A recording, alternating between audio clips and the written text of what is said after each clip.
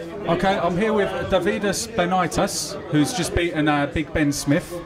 Uh, can you tell us about the fight? Tu ką tik laimėjai prieš Ben Smith, E, ką tu gali pasakyti apie kovą? Na ir prasidėjęs iš tikrųjų labai greitai.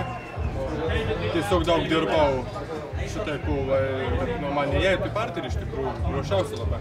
Okay, uh, he didn't expect the fight finish so quickly.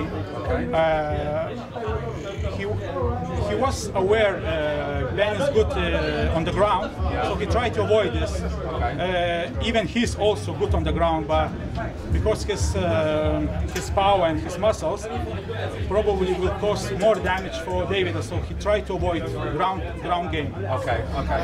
Um, can you tell us where you're from and where you, uh, what club you fight for?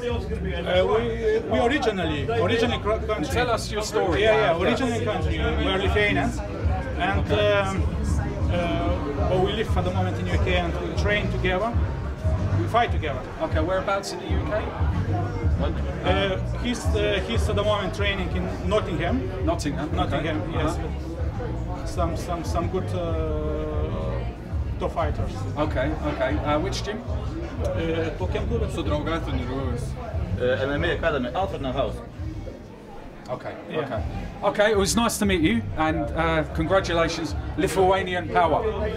okay. Thank you Thank you. Thank you.